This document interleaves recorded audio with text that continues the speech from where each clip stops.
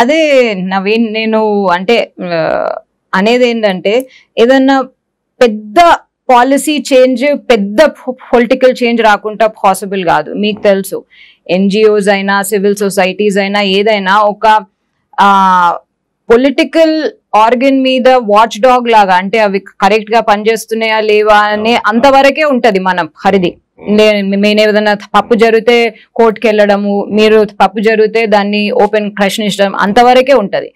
కానీ ఒక పెద్ద policy change policy across the board administrative agriculture financial economic across the board policy change అంటే కొత్త కొత్తదనం. అది ఎంత కొత్తగా ఉంటుందో ఎంత మంచిగా ఉంటుందో ఇక అప్పుడే మాట్లాడుకుందాం మళ్ళా. కానీ ఆ పాలసీ చేంజ్ అంటే ఒక స్టాగ్నేషన్ నుంచి ఆ పాలసీ చేంజ్ రావాలంటే political చేంజే is the only way and అది uh, అదే ఆ this thing. క్షణంలో మాట్లాడుకున్నా మీరు ఒక గృహిణి ప్లస్ మహిళ. కాబట్టి సిలిండర్ ధరల పెరుగుదల పైన మీరు ఏమైనా మాట్లాడగలుగుతారా? సిలిండర్ అది తక్కువ చేయాలి కానీ పెట్రోల్ ఆ, దీని గురించి అయితే మాట్లాడదాం. సిలిండర్ వద్దా? సిలిండర్ కూడా తక్కువ చేయాలి.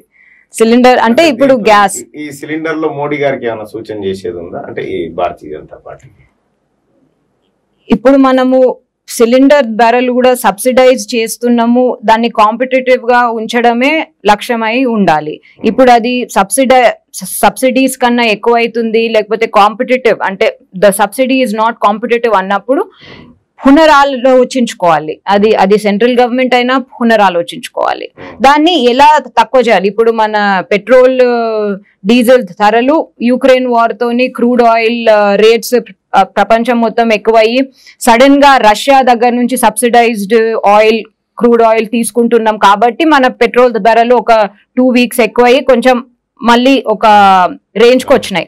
తక్కువైనాయి. ఇది కూడా అలాగే అంటే లైక్ డైరెక్ట్లీ ఎఫెక్టెడో ఇండైరెక్ట్లీ ఎఫెక్టెడో ఆ ఎఫెక్ట్ని అంటే ఆ గ్యాప్ని ప్లగ్ చేసి సబ్సిడీని ఆ, మళ్ళీ ఎక్కువ చేసి సిలిండర్ బెరల్ కూడా తక్కువ అట్లనే అవుతాయి అండ్ ఒకవేళ రాష్ట్ర కేంద్ర ప్రభుత్వం అలా చేయడం లేదంటే వాళ్ళు ఖచ్చితంగా సిలిండర్ ధరల మీద వాళ్ళు కాన్సన్ట్రేట్ చేయాలి. కేసీఆర్ గారికి మీ సూచనలు ఏమైనా ఉన్నాయా చల్లగా ఉండు ఇంకో ఎపిసోడే అవుతుంది? చాలా ఉన్నాయి. సో ఏదేమైనప్పటికీ కూడా మీరు ఒక మహిళగా మరో ప్రస్థానాన్ని ప్రారంభిస్తున్న సందర్భంగా క్యూనిస్ తరఫున శుభాకాంక్షలు తెలియజేస్తా ఉన్నాం.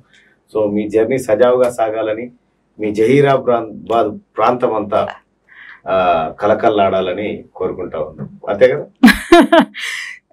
అంతే థ్యాంక్ యూ సో మచ్ అంతా ఆల్ తెలంగాణ ఉట్టి ఆ ప్రాంతమే కాదు ఆల్ తెలంగాణ సో మీ ప్రాంతం కాకుండా అంతా ఆల్ తెలంగాణ అందరూ అండి ఉమ్, సబ్కా సాత్ సబ్కా వికాస్ सबका साथ भी సబ్కా సాత్ भी सबका साथ सबका विश्वास విశ్వాస్ चार हो गए उसमें सबका साथ सबका विश्वास నాలుగు అయిపోయినాయి ఇప్పుడు దాంట్లో ఆల్ ఆఫ్ తెలంగాణ అందరూ మంచిగా ఉండాలని ఉమ్.